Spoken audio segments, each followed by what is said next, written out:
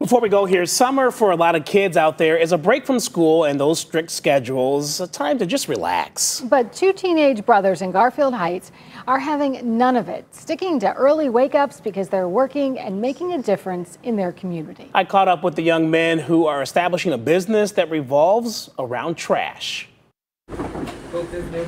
Sleeping in is not an option for brothers Andre Willis and Drevian Arrington. I want to keep this world clean, want to make it a clean place. Each morning they're up. We do a daily affirmation, you know, make sure we're in spirits for this business. And we, once we get that, we get it going. Walking neighborhood streets in Garfield Heights, garbage bags in hand, picking up trash on sidewalks and lawns.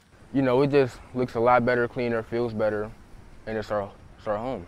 While clearing away litter is important, it is not the main focus of the Trash Boys, a business the teens started when school let out for the summer. I see people struggling a lot with taking their trash cans to the curb and back.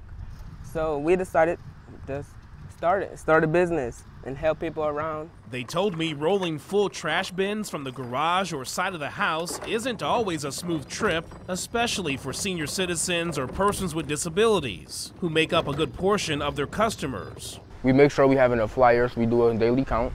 A weekly and monthly rate is offered. They also do yard cleanup and beautification jobs. Has anything surprised you about this process? Um, how like how much people really like it.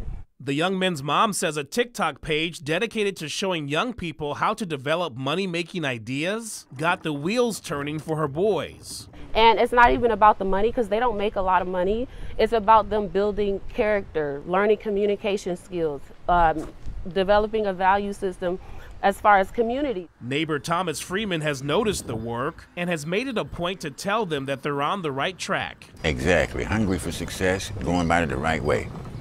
That's, uh, that's uh, the way we were brought up, coming up in the 50s and the 60s.